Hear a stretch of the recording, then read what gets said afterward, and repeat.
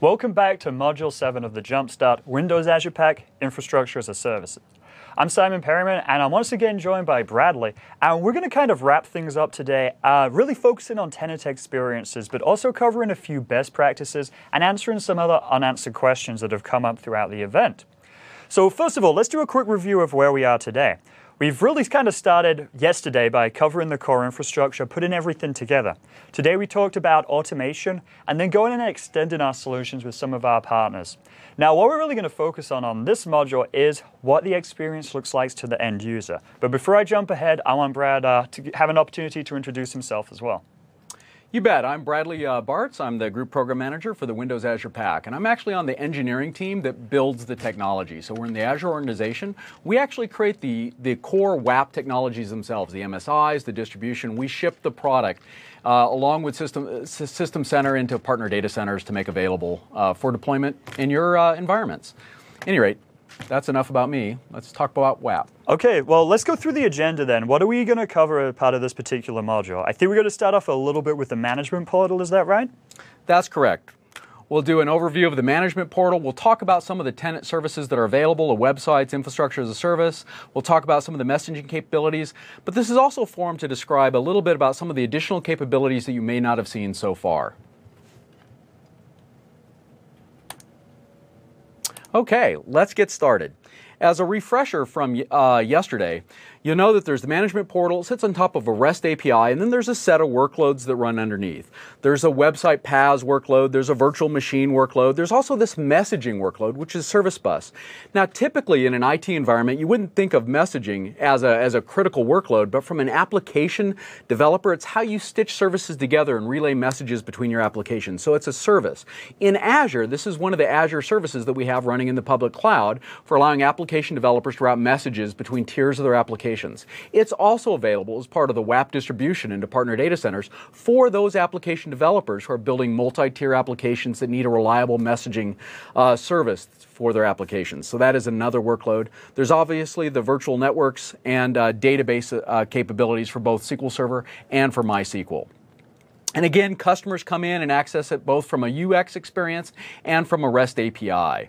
And again, it is about uh, this consistency with Azure, and I want to emphasize that again. A lot of this has been expressed about the, the capabilities that you can offer to your customers within your environment, but it's also about the that continuity with Microsoft's Azure public cloud. And what this really allows your customers to do is to leverage a common skill set that they're using when they target Azure and targeting resources coming from your data center. They don't have to learn two ways of doing things or two different sets of capabilities or make this mental shift and, oh, oh I'm going to IT, I have to do things completely differently. Oh, I'm going to Azure and it works differently there. It's about creating that one consistent platform that your customers can have this fluid experience regardless of whether they're using private cloud resources or public cloud resources. So it is about this consistent cloud platform that Windows Azure Pack helps to enable. And that's both for the uh, workload experiences, for dashboards that are running, and these are just examples of the portal running both in the private cloud and in the public cloud, again, as part of a consistent platform. So now I'm going to focus um, uh, specifically on the website uh, workload that we talked a little bit about yesterday. And this is a PaaS platform. It's scalable, it's flexible, it's open, it supports a variety of different configurations.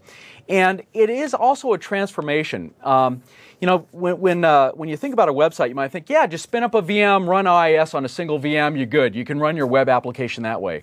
Well, one, it doesn't really scale. It's running on a dedicated server, sitting there by itself. It's not going to meet HA compliance. It's, it's running what? Maybe one, two workloads. You start to put a lot of workloads. They start competing for resources on that single box. It's really not part of a cloud solution.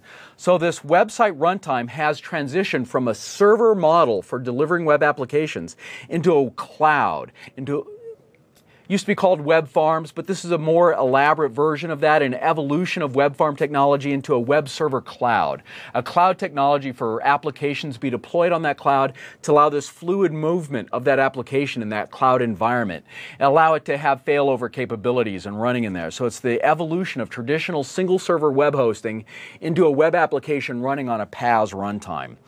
Now, now, since you're actually talking about this different type of cloud architecture, we've had a question come up a couple times about kind of comparing Windows Azure Pack with the core Azure Data Center architecture.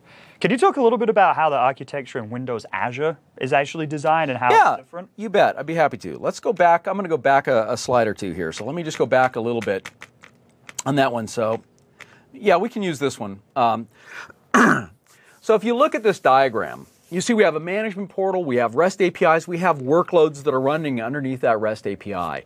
This framework is um, nearly identical to what's running in Azure today. So the management portal, WAP actually is the same code base that we ship and operate in Azure.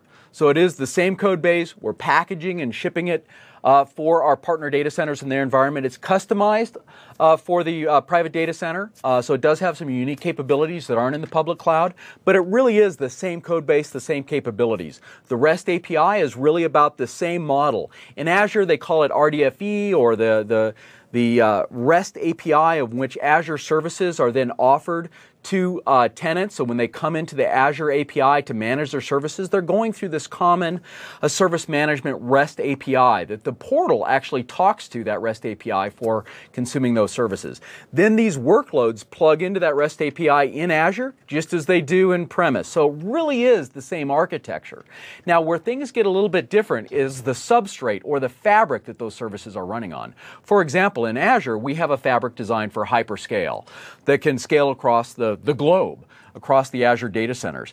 That fabric is different. Now, in WAP, our fabric on premise is provided by Windows Server and System Center. They provide the fabric for WAP's services that are running. So that is a difference between Azure and on-premise is that the fabric is coming from Windows Server and System Center, but the workloads, once they plug in on top of that, would be identical. So for example, the website's runtime that I just showed here uh, in the diagram, that runtime is the same code base. That, if you look at that vertical uh, slice here, plugging in that runtime, the logic, the code there, I would say, I, don't have an exact number, but maybe on the order of 90%, similar to what you'll find in Azure Public Cloud so that it is the same runtime with some differentiation in how it's materialized in Azure and on premise, but it's by and large the same runtime. This is also true of the service bus, our messaging tier. It's the same service bus technology that runs in Azure is made available in the private data center. Where things are a little bit different, again, is going to be on the fabric. So the IaaS experience is going to be a little bit different on how that is realized on premise and in Azure. So hopefully that addresses that question. That was great. Thanks. All right. So if we go back to this web cloud, um, uh, this is part capabilities of this PaaS platform. Now, this is not something that as an IT operator, if you look at this list, it's got ASP.NET, it's got Python, it's got Classic ASP, Node.js, PHP, uh, SQL, MySQL. You're going, oh, do I have to do this? And how do I maintain? Do I have to put that version of this framework on each of these machines? How do I manage and configure this? You don't have to worry about it. That PaaS platform um, already as part of deploying that website's runtime deploys and make these technologies available. And what's a little bit different, and this is worth noting, in Azure, these capabilities are there by default, um, and they are when you deploy on premise. But what's a little bit different for our partner data centers, and we do have some partners doing this, um, because you own the fabric and the deployment of the fabric and the deployment of this PaaS service, you have opportunities to customize and tailor that environment uniquely to your customers. So, for example, we have some partners who have taken this list of capabilities where I've got ASP.NET, Python, Classic ASP, Node.js, and PHP, and they've actually added other frameworks, some specific to their organization or some that hosting providers want to offer that are unique, a differentiated framework that they make available as part of their PaaS platform.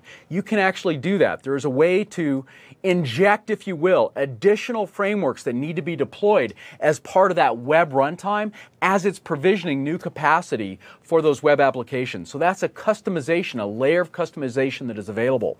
And that's one of the the, the, the fun things about deploying and building your own private cloud is those abilities to tweak the workloads unique to your environment. And again, customizable, self-service gallery, popular web applications, database integration. And again, CodePlex, Visual Studio, Gitbucket, Dropbox, all these capabilities are enabled as part of that um, web platform. Let me switch for just a moment into a demo environment. And I want to show a couple of things here. In this environment, uh, I'm going to show kind of that web app gallery. When I go and uh, go deploy a new website, and you saw me do it yesterday where I created a custom web application. In this case, I'm going to create, look at creating a web application from a gallery. And a gallery is a curated list of web applications. You should be seeing those on the screen right now, and it's a long list. And you might ask, well, where does this list of applications come from? And can I customize it? Can I tailor this list of applications I want to provide to my customers? So by default, the list of applications you're seeing is actually coming from a feed hosted in Windows Azure and made available, and it's automatically there when you deploy. However, you don't have to consume the feed that way. You can actually create your own offline version of this feed. Let's say you're doing a completely isolated private cloud with no connectivity to the internet. You can do that. There is a way to offline. Um, offline the feed so you can self host it within your data center to provide this gallery experience to your customers for web applications. Now notice this is a different gallery than the virtual machine gallery.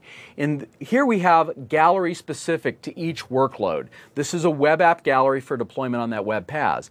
Another thing you can do when you offline your own feed and host your own feed for your application, you can modify the feed. So you can add your own custom applications that you want to be deployed, your web applications. Let's say you have your own version of Joomla Drupal applications that you want to make broadly available available within your organization. You could do that as part of this um, uh, gallery as well. So that's an example of uh, offlining and customizing a web app gallery for deployment. And again, this isn't deploying machines. That gallery is deploying an application, not a virtual machine, onto a PaaS service. A slight difference from what happens when you go through the VM gallery. Now we had a question that came up here. So it looks like you know you're doing this initial configuration, you do it through test. Once you get to actual post deployment, do you actually need to go and reconfigure anything, either portals or APIs? Um, so that, that's going to be depending on the requirements of your application. Um, the, uh, the application, for example, this is a web application, and in the dashboard, you can actually go in and configure it here. So part of this application, you can pick which version of the framework, which PHP version. These are application-specific settings. The version that you're using are which versions are supported by the PaaS platform. Those frameworks are already available. I am simply tog toggling which version the application is going to use. It's not actually targeting uh, causing the, a new deployment of technology. It's a capability built into the platform, and I'm just toggling which are being made available to the application. And so there's a number of application settings that are here. And so in this case, it's a web application. The, all the settings are in the dashboard for that application. So that it's managed through the dashboard of WAP along with the telemetry of it. All right, let's go back. So that's a little bit about website. And I'm going to move kind of quickly here because we want to show a number of different capabilities. So I'm going to switch back to the demo and uh, to the slide deck and we'll keep going. Infrastructure as a service you've seen a lot of. And again, the virtual machines and the virtual networking, the provider of those capabilities for the Windows Azure Pack is the Windows Server System Center. They are the virtualized provider for the Fabric enabling IaaS, which includes virtual machines and networking and it provides self-service IaaS. You know, the difference between just VMs and IaaS is this idea of self-service. It's infrastructure as a service to consumers, so they can on-demand provision VM capacity. Now, is there a maximum number of VM resources that are available with each subscription, such as virtual machines or virtual networks? Great question. Um, and this comes up quite often about you know, I'm a little nervous. I don't want to do this whole IaaS WAP thing and have some customer come in and all of a sudden consume all the capacity running in my data center for, I don't know, a game they're running. You know, how do I control the consumption of resources from my data center? In the, uh, and this is where it's a little bit different than in Azure. In Azure, it's an all-you-can-eat model. Just come in and we will gladly provide you as much capacity as you want. You'll just get a bill at the end of the month for as much as you use. But in a private data center, um, you want to have a little bit more control because when your capacity is exceeded, it doesn't come automatically in your environment. You have to a whole backlog to go get new equipment deployed in your environment. So how do you put and regulate some of that uh, capabilities? When you offer a service and you're going to make a service available to the tenant portal, you're able to define quotas and constraints. And some of this was uh, um, uh, covered yesterday when they were going through the plan orchestration model. When you define an offer, you're building a plan for each resource type that you plug in. IaaS, for virtual machines is one of those resource types. When you plug in websites, each resource type offers a set of um, constraints that you can set on the consumption of that resource type. So when I go in and define and make IaaS available to my customers, I have the ability, I can say, hey, this any subscription to this plan is only good for one VM. That's it. If you try to provision another VM, it's going to fail. You will not get another VM. I can say it's good for up to five VMs. You can create what's called a plan add-on for an additional five VMs, which has to have another workflow to get approved and then added to your subscription. So you have the idea to bucketize, define a, um, a limit to how much capacity you can freely provision and deprovision. And then the customer has to live within that quota until they get a quota bump or subscribe to a new plan that you're making available to them. So that's where that's where it's different than Azure is that you can uh, define that. And matter of fact, while we're on this topic, I'm going to show something else because it is really relevant to this conversation. So I'm going to switch uh, back to my demo environment.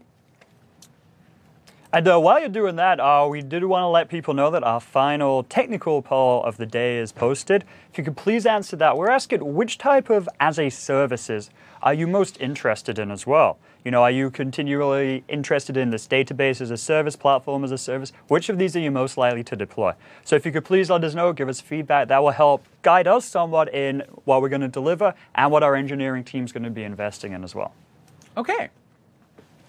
So now if we go back uh, to, to the demo machine, here you'll see I have basically, I'm logged in, I'm logged in with an account, I actually have a couple of subscriptions, and a lot of these are here. But if I were to select just one uh, subscription, I'm going to see a, only a set of capabilities that are available on that subscription. So for example, on this subscription, I'm only seeing websites and SQL databases. I'm not even seeing VMs. They don't show up because I don't have permissions to do any IaaS on this subscription. I can do websites and MySQL databases, and that's it.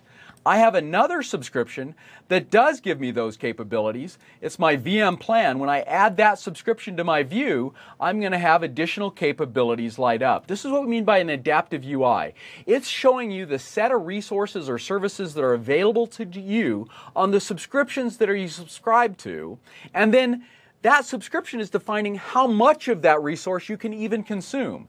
Now I'm going to switch to a different portal. I want you to just note, before I make the switch though, what you're seeing here on the left is websites, virtual machines, network, MySQL, and that's it. I have four service types. Now I'm going to switch to another WAP deployment. And in this WAP deployment, I'm logged in. I have websites. Now this one actually has the GridPro integration, so I'm getting requests and ticketing integrated. I do have IaaS, I've got virtual machines, I've got networkings. Hey, there's this service bus thing, another service is lighting up. Oh, I don't just have MySQL, I have SQL Server, I can provision databases.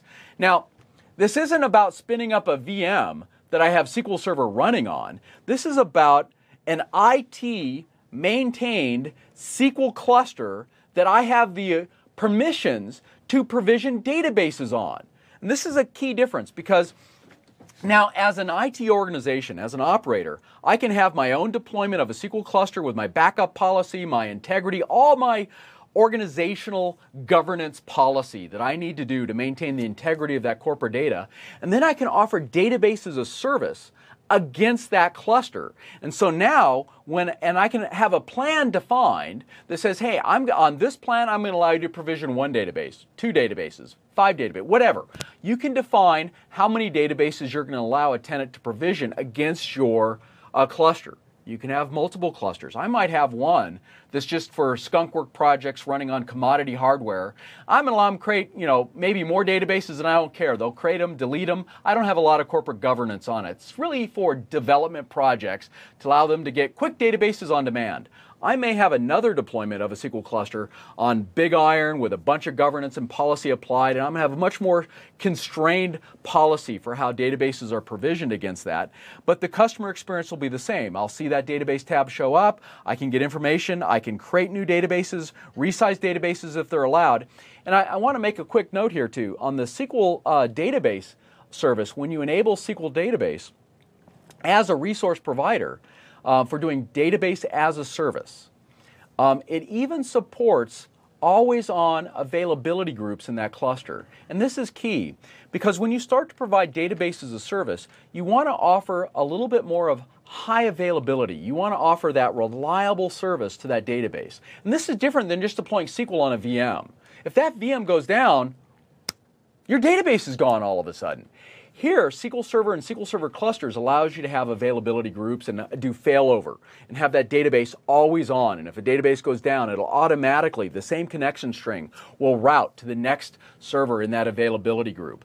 And so if you've configured your SQL cluster with availability groups and you offer that as part of a plan, you can enable always on support. So when databases are provisioned by WAP against that SQL cluster, they will have always on capability for doing database as a service.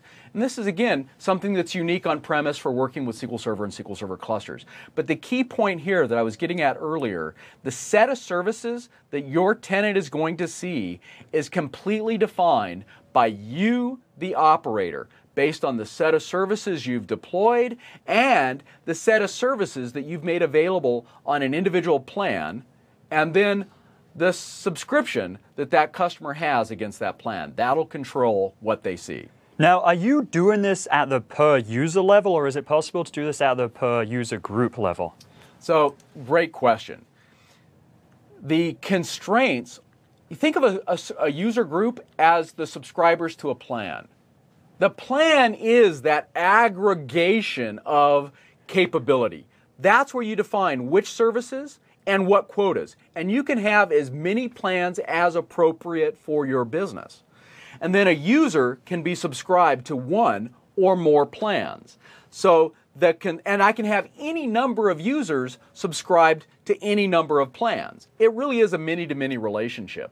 So what you're going to see is all users subscribed to plan A will get only the set of capabilities in Plan A, and they each have to live within the quotas defined in Plan A.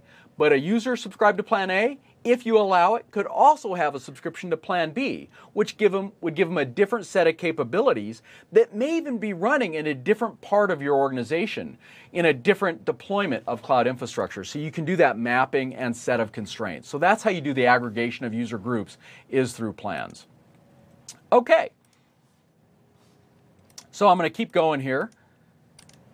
And again, virtual networking um, and, and um, there's a complete virtual networking and what this is allowing is allowing your customers to define their networks. This is uh, in many ways targeting devops scenarios for these teams that are building applications they're deploying a couple of virtual machines they want to start creating a network to manage those virtual machines while they're building applications or doing test deployments.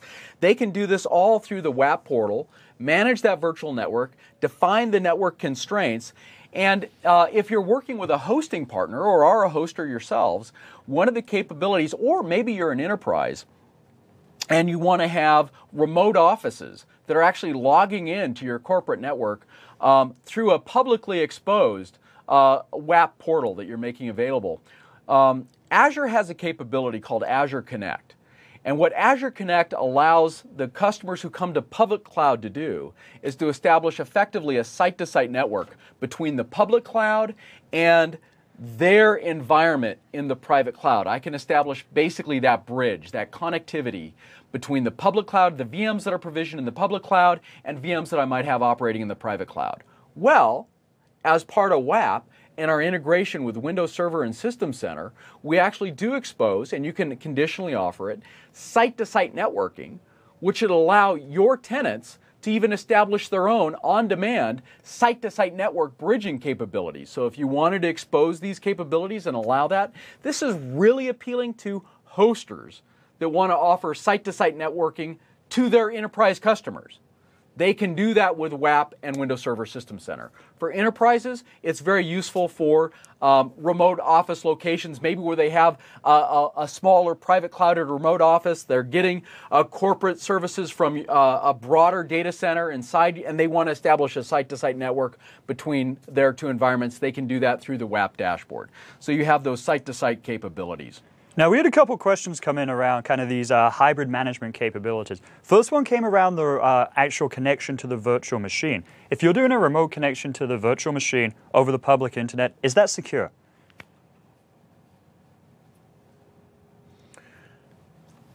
So through the v, through the VM Connect there, console, there's, a, there's a, a, a, lot of questions there, and, and there, so matter of fact, um, the question came up about remote connections to machines. So let's um, Let's switch to a, another demo right now. We'll go ahead and do this. This is okay. fun.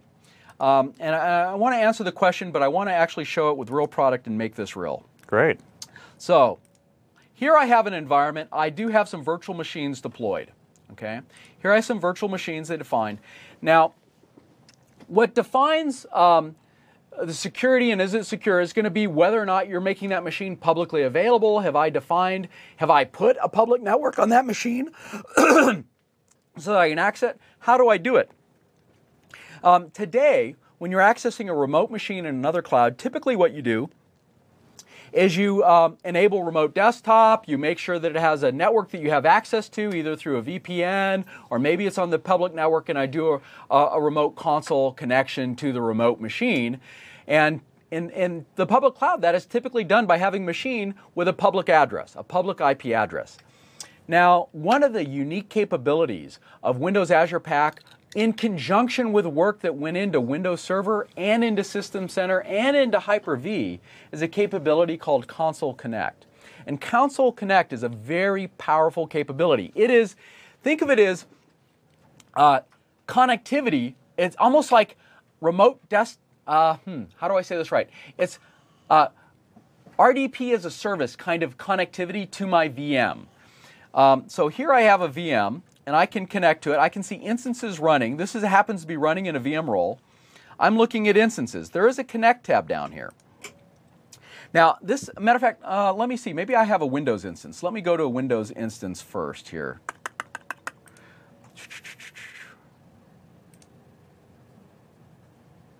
Okay. So here, now that you're seeing I'm logged in, I, am managing a Windows desktop, a Windows app VM from the WAP dashboard. Notice when I go to the Connect tab or the Connect button on the bottom, when I click Connect, I have two options. I have Desktop and Console.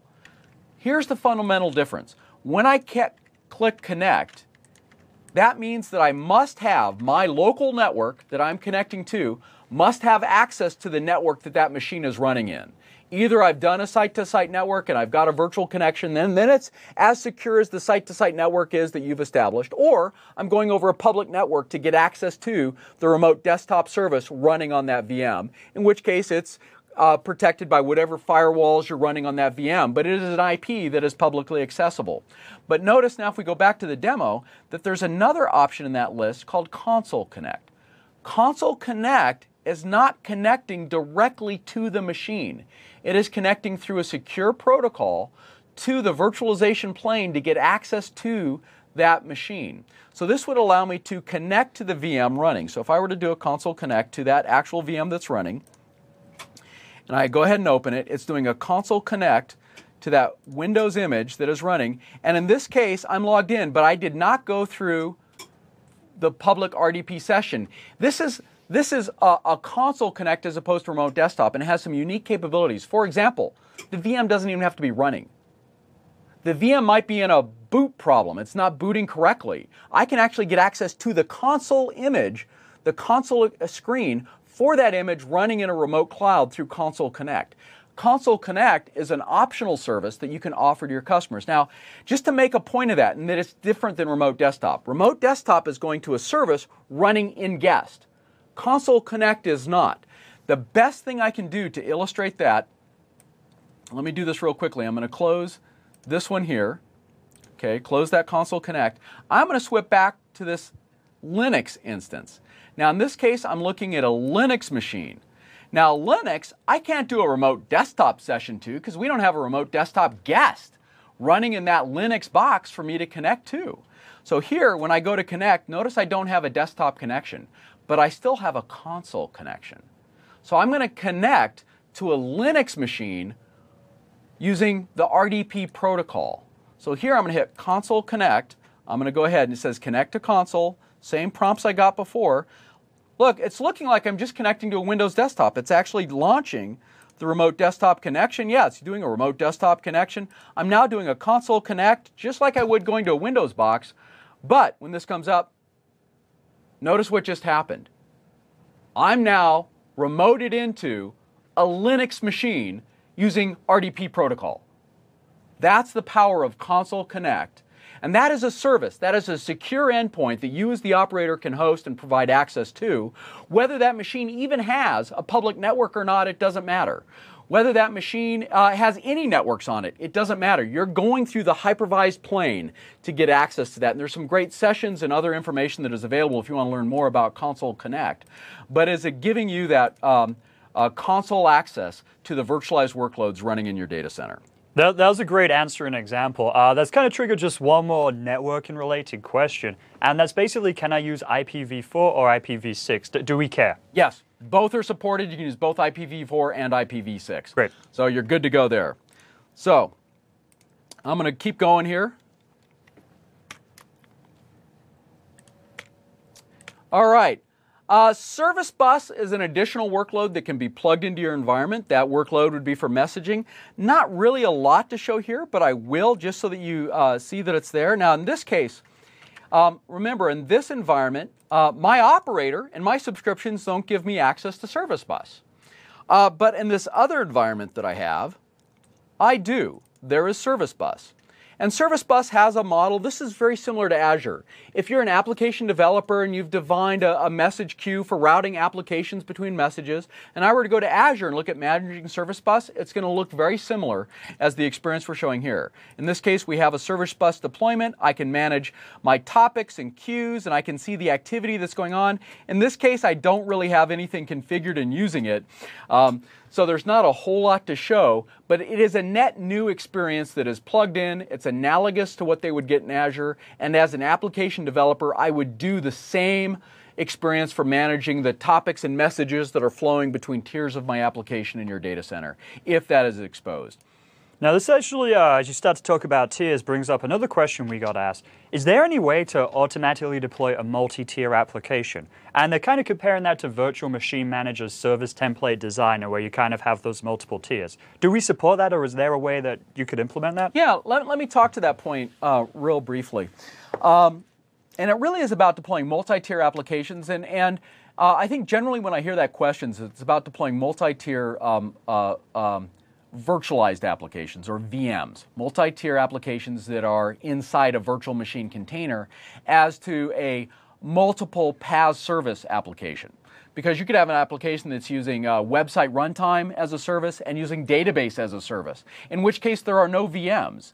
Uh, a matter of fact, when I deploy a, um, an application from the web app gallery. It's actually deploying an application onto a web PaaS and provisioning a database against a database PaaS uh, service, a database as a service, and deploying that as a single application. So that level is supported between those two um, um, uh, web as a service and database as a service. But um, this is, I want to bring us back to the service template model because in the System Center uh, world, that is the way of distributing a multi machine uh, a, multi-tier application. WAP, and remember that Cloud OS um, journey that I mentioned we were on very earlier? It's about this unification of building those applications for the cloud and, and, and that consistency. And we looked at WAP and building those multi-tier applications. What we were very concerned is how do I build multi-tier applications that I can easily deploy in both Azure and into the private cloud? And we really didn't have a rational model that worked in both environments today. So WAP natively, as it sits today, supports VM role, which is one tier that can scale. You can build a multi-tier application by deploying two VM roles.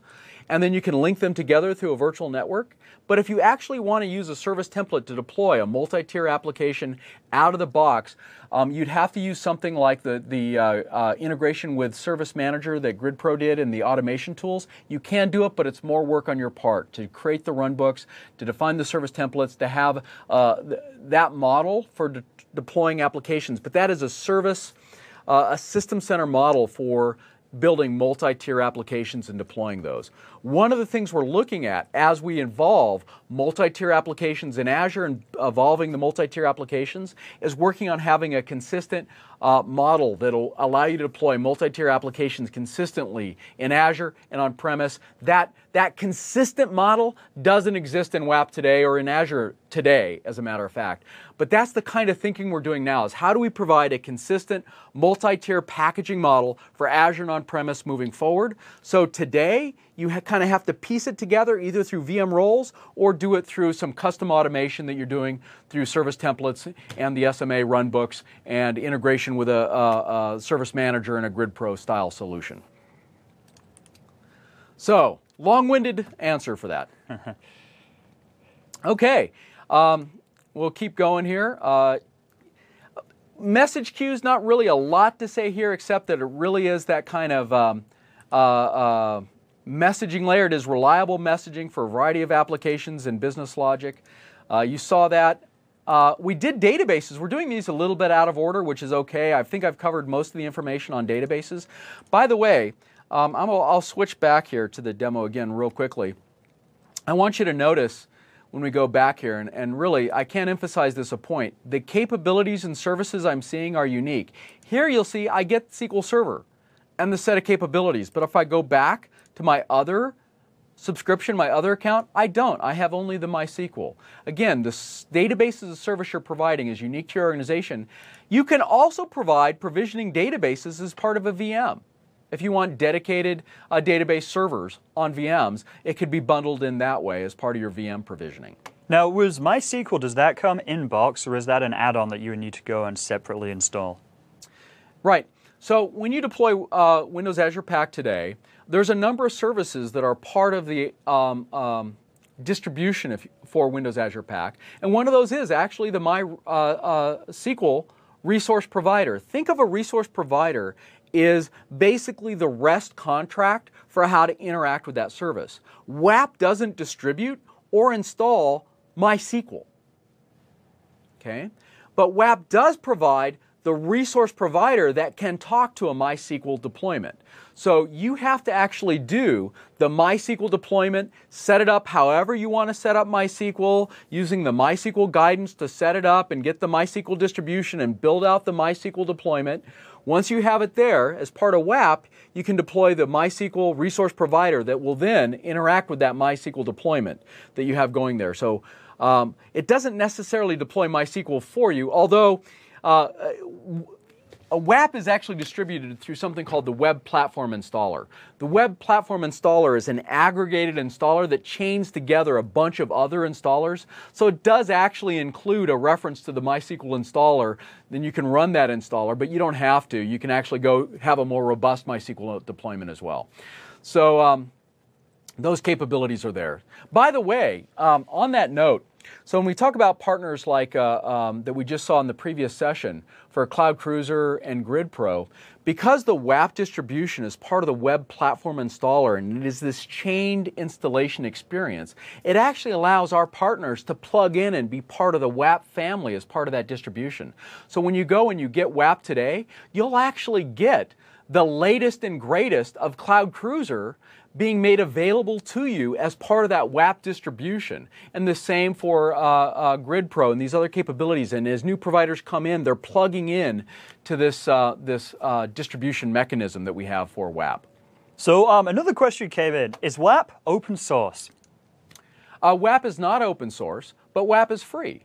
So you can get WAP uh, through the web platform installer. The web platform installer does include um, other open source technologies, um, and actually WAP does use some open source technologies, but the WAP code base itself is not open source. And now I want to talk uh, a little bit about some extensibility. Now, Uh, this, not everyone in the audience um, may be interested in this aspect of extensibility, but it's worth touching on. This is mostly applicable to hosting service providers. Um, a matter of fact, what I'm going to outline now, and, and, most people may or may not be aware um, uh, that Windows Azure Pack integrates with Parallels for our hosting provider community. And you might think, wait a minute, Parallels. Parallels is a management panel. Mm-hmm. WAP's a, a management, we call it a management dashboard, management portal panel. Well, do I use one or the other or the both or what, what's the difference? Um, we actually integrate with Parallels. We're not an alternative to Parallels for hosting providers. We can integrate with Parallels very in, uh, seamlessly for a fluid experience. Let me give you an example. Parallels provides a great experience for hosters and resellers to provide services coming from their data center.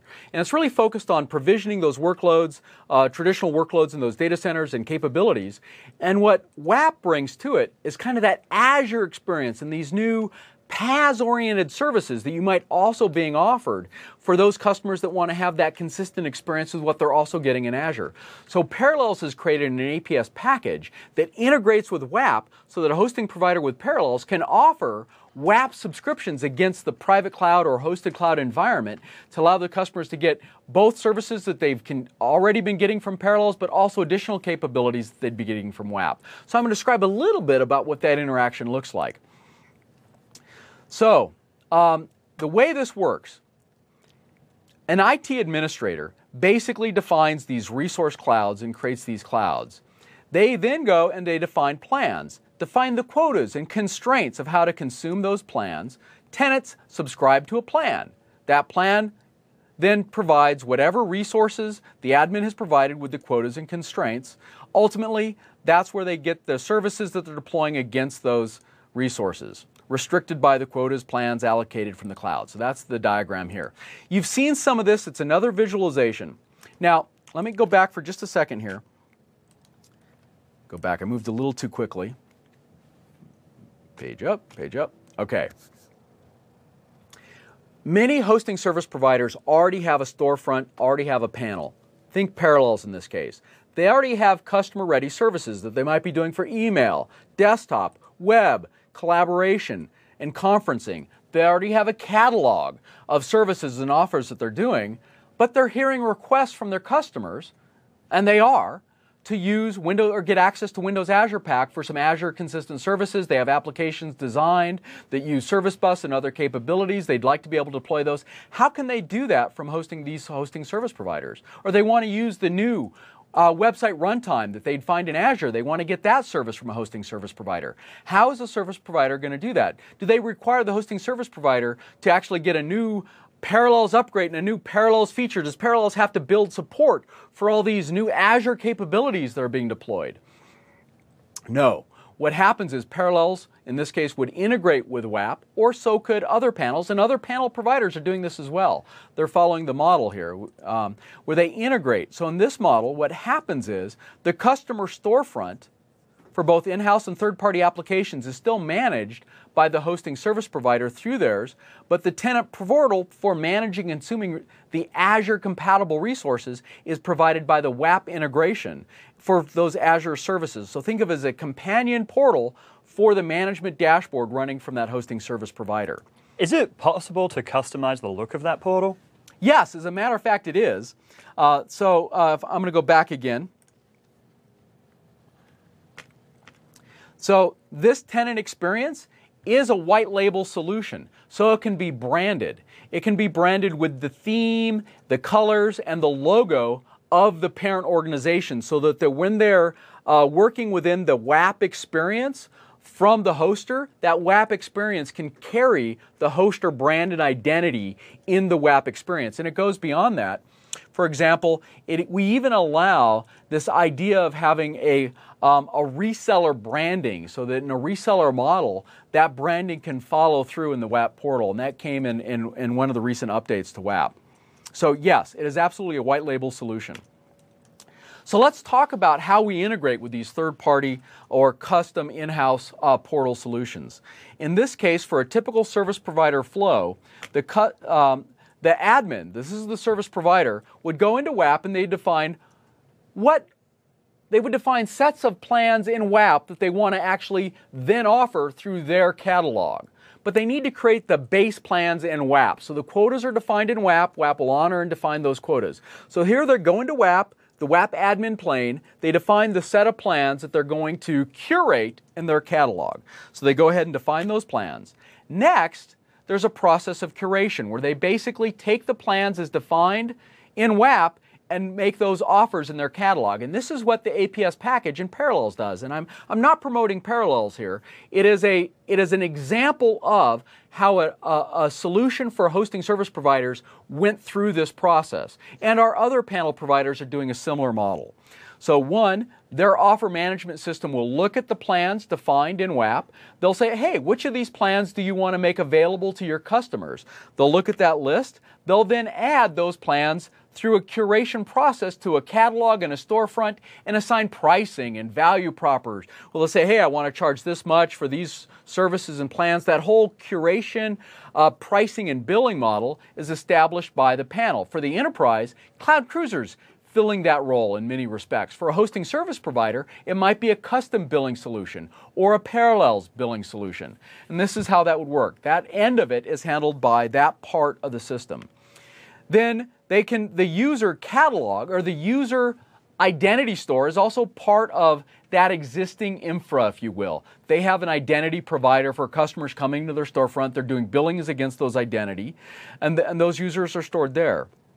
When a user comes in then and acquires an offer through their storefront, what happens is, in this case, this is where the A, uh, Parallels APS package comes in, or any custom panel that integrates WAP could do this. This is all done programmatically. Their system can then say, hey, I've got a new user, they're going to subscribe to this plan, create a subscription for this identity against this plan. There's APIs in WAP to do that. That'll go ahead and provision a subscription for that user against that plan, giving them access to those set of services. Once that provisioning process is done, what's really happening here is you're not necessarily provisioning the resources yet, you're provisioning the subscription against the plan, which is now going to give the user a self service experience to use that subscription. But the provisioning of that was done by the provider's infrastructure by going against the WAP APIs. So here, they've called the APIs, they provisioned a subscription for that user against that um, uh, plan. Now, the user can then be transitioned from the, in this case, the Parallels portal or the provider specific portal, the user can be transitioned to the WAP portal. Because WAP can be deployed to use custom STS providers, they can be authenticated against the same STS identity that was used to uh, authenticate that user in the operator, in the service provider's environment. So in this case, the user would be authenticated against the same STS provider. They would now be logged into the WAP portal. When they're logged into the WAP portal, they're going to see the subscription that they just bought through the provider storefront. So imagine this. I went into the Parallel storefront. I bought the website capabilities with all this great capability. I buy it. I see, oh, I've got a plan. This is how much it cost me. I'm seeing that all the Parallels environment. I say, I want to use that subscription. Boom, I'm logged right in. I'm sitting there in the WAP dashboard with the websites, with that subscription, with those resources on that subscription immediately available. That's how that flow would work. The tenant is now logged in. They see those subscriptions. They're able to start using those services. Now, the provider infrastructure then is able to tap into our usage pipeline. This is some of the presentations you saw yesterday around billing and utilization. We provide that aggregated endpoint that shows all the usage data on a per subscription basis. In this case, that billing solution, Parallels again, another example, as well as other hosting service providers, are consuming that usage data to create billing records on that subscription that they can go and then charge that user for. And ultimately, go ahead and then show up um, in the customer's billing panel that they provide what their usage is in WAP along with other usage that they might be getting from the data center. So um, really, WAP is a companion experience that can be integrated with experiences that an operator might already have in their environment. And this is an example of that flow. So basically, there's an interaction. Everything that you see us doing in the admin panel or the tenant uh, uh, uh, portal can be programmatically done through PowerShell and REST APIs. Okay. And then last but not least, and, and this was just mentioned and showed examples in, uh, in the previous session of the integration of both GridPro and Cloud Cruiser. Um, we do allow custom resource providers to be built and plugged into the Windows Azure Pack. And if we look at this diagram, and you've seen multiple views of this architecture, you know, we saw websites, virtual machines, service bus, networking, and database. Additional services can be plugged in, and this is what Cloud Cruiser has done. Uh, they've plugged in an additional custom resource provider that does billing. GridPro has created one that plugs in and talks to Service Manager. We have other solutions. For example, Apprenda is creating a custom, or has created, and it is available today. You can get it for, for and they've created a PaaS, a service for .NET applications. They've created this custom resource provider that can plug in. It provides an ad, uh, a UX experience. So for managing that PaaS resource, similar to websites, but for managing this PaaS resource that's running in your data center, this is a dynamic system. When you plug in one of these resources, they can plug into that REST API. When they plug in, they also provide the usage and, and billing data so they can be monetized they're plugging in a user experience. These services can be added. And an organization can also create custom resources for other capabilities that you might be building that are unique to your organization. So you can build these custom resource types, these custom services, and add them to your environment. All right. Well, we actually have some more questions. Yeah, fire we've got away. about uh, 10 minutes left or so in the session. So the first to look at other uh, possible future capabilities or whether we could integrate them. So first question is, is it possible to offer DR as a service through Windows Azure Pack. So for example, I'm a user, I want to ensure that my virtual machines get sent to a secondary site or maybe up to Azure using site recovery. Is that something that we could build Yeah. or integrate? So right now, those DR scenarios are actually provided through the System Center virtualization. There is DR recovery. There's uh, an integration with uh, um, Virtual Machine Manager and Hyper-V for doing uh, disaster recovery. That's the level of integration at the back-end fabric, so you could absolutely do that. What we don't have yet today is the bleed through into the WAP experience for how a tenant can self service manage that. But that doesn't mean you, as an operator, can't configure your fabric to do that on behalf for the tenant. So, yes, as part of the fabric admin, you can absolutely do that. We don't yet have it plumbed all the way through the stack for a tenant to do that on a self service basis. Okay, the next one would be can you offer backup as a service? So I'm a tenant, I've deployed my virtual machine, I want to make sure it gets backed up once a day. So again, WAP um, today doesn't have that as a first class experience exposed. So, one, it could be exposed just as something that you're doing um, on the back end. Maybe you do it through the ticketing integration with GridPro, where you have a service request to do backup and an automation process through a runbook that would do the backup on the tenant's behalf and do it through that way. So, there are multiple angles to how you do it to provide it. But WAP as you get it, the vanilla WAP, if you will, doesn't offer it, but there are multiple ways that you could extend or customize and tailor that to provide those capabilities to your customers. All right, so we have a best practice question. If you're a customer and you're deploying a brand new self service portal today, should you use WAP, the SCSM, the Service Manager Self Service Portal, or App Controller? Yeah, great question, because um, there's a number of different options you have available. So the question is, which do I use? Um, well, it depends on your audience, your need, and, and what, they, what the requirements are.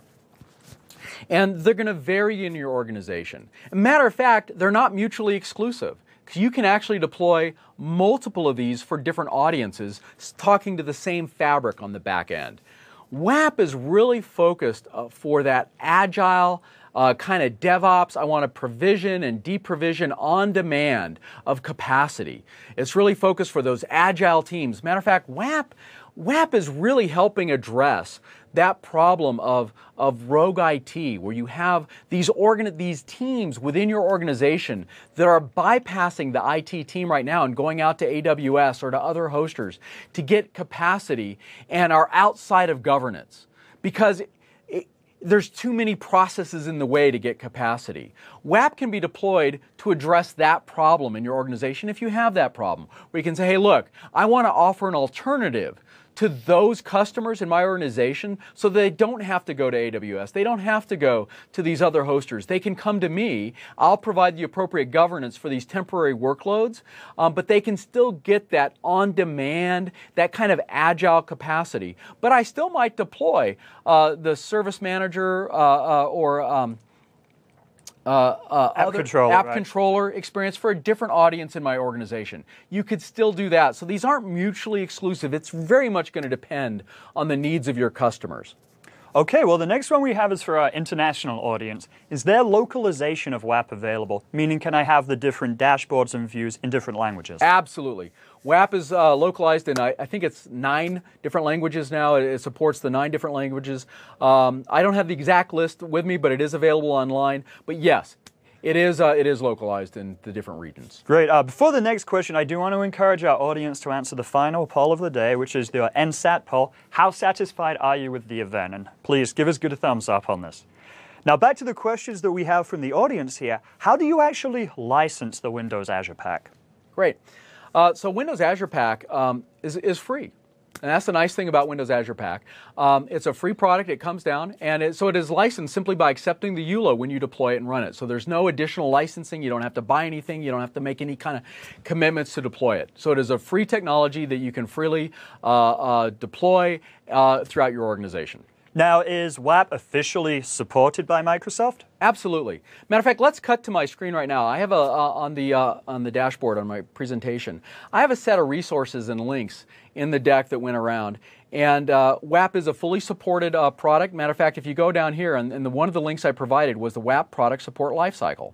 And if I were to click that link, you'll actually go and you'll see this is on Microsoft. This is a published a link for support microsoft.com and if you look up windows azure pack here is the product lifecycle a supported lifecycle for WAP, uh, its release date, um, and its life cycle, life cycle uh, up to 2017, and can, you can actually buy extended support out through 2022. So it is a supported product. You can get support from Microsoft Support. So yes, it is a supported product. Now, what is the update cadence for it? You know, how frequently are you making changes, enhancements, things like that? You bet.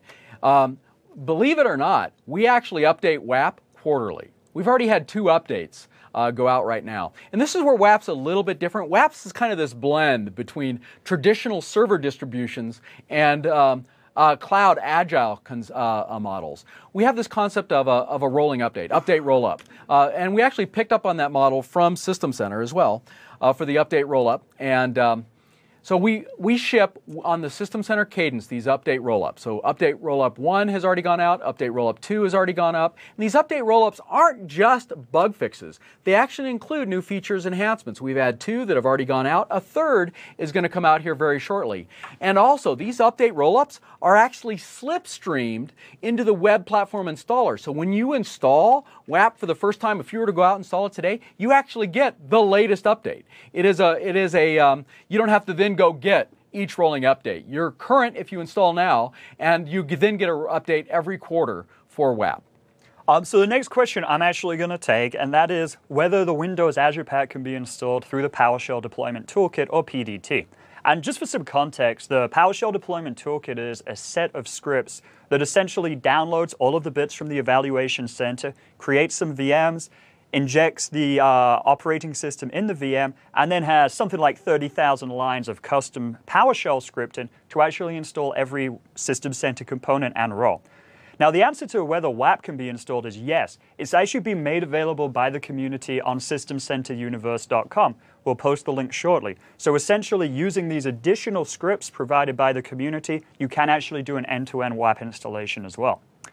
Now, our final question we're going to have of the day here, hopefully a fun one. What is the coolest real world customer scenario you've seen with WAP? Oh, I don't know about coolest. Okay, maybe not coolest, but uh, um, most interesting or most complex.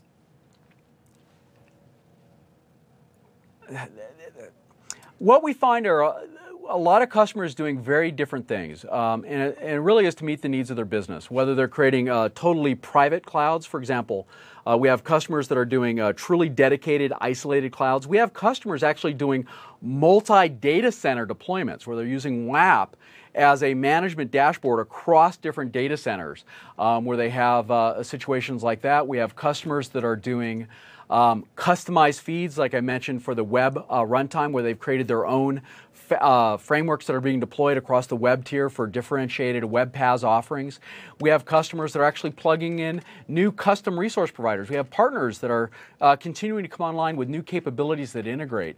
So I think it is, it is very much. Um, I'm always surprised, or not surprised, but I'm always delighted when I hear of partners who are extending WAP in ways that we never envisioned. Um, before we conclude, though, I would love to run through a couple of the links because there's so much going on with WAP. Um, it, it is hard to distill it down in just to a couple of sound bites. Let's do that, and it is a great time for people to take a screenshot as well, so that you you know keep that data as well. All right. So one, I just want to point out there is a download link where you can go to and get uh, the, the information from our Microsoft, uh, Microsoft.com site. This is where you would go to get uh, Windows Azure Pack and to download it. Um, it's refreshing right now. This is the page where you can learn more, try it, deploy it, get the support uh, for the forums. Here, for anybody that's deploying it and working with it, I highly recommend you go to our user voice feedback page. This is a great place. We do look at this in re- consistently, daily, where we're getting basically the top requests and votes. You can actually vote for the features that you'd like to see in WAP and add new features and capabilities and see what's going on with the community. So we have a very active user voice site going on right now. Uh, there's also this Building uh, Clouds blog, which has a lot of great information about private and hosted clouds and what's going on in that environment and how to build those clouds. Um, and, and while that's queuing up, one thing I want to stress, there is a wiki. This wiki is amazing. This is an amazing resource for the engineering team. It's an amazing resource for the community. I'm going to click this WAP wiki for all things wiki. This is stunning.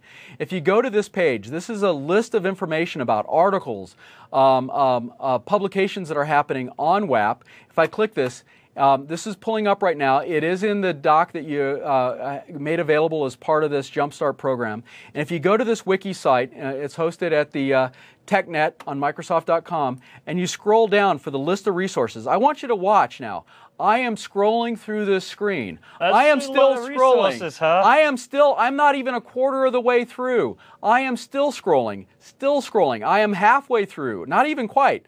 Now I'm halfway through. I am still scrolling. Look, I'm still going down. This is a long list. It is daunting how much information and examples. The nice thing about this, one, you can search and refer to this wiki. This is a great resource to try to look for informations and publications, and you'll also know who provided that information and made it available in the wiki. So I highly encourage you to look at the wiki. There is a Twitter feed. You can go hit the Twitter feed to learn information on what's happening in WAP.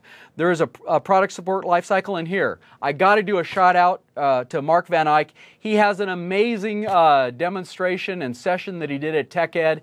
Uh, he's, he actually shows uh, in his demo uh, an example of doing um, a, a, challenge for doing a login through a mobile SMS challenge to get authenticated uh, with the uh, authentication provider. I highly encourage you to go watch his session at TechEd, and this is a session you can watch anytime on demand. Marc van Eijk did this. It's a great session from TechEd. If you really want to see some interesting, fun configurations of WAP, this is a great session to go look at. Excellent. Well, on that note, we want to make sure that we thank everybody that's helped us out, especially our Q&A team. This has been one of the best Q&A teams for any event I've been involved with. Had a lot of great help from our MVPs, our other internal resources engineering team. So for all of our Q&A people out there, thank you for the support.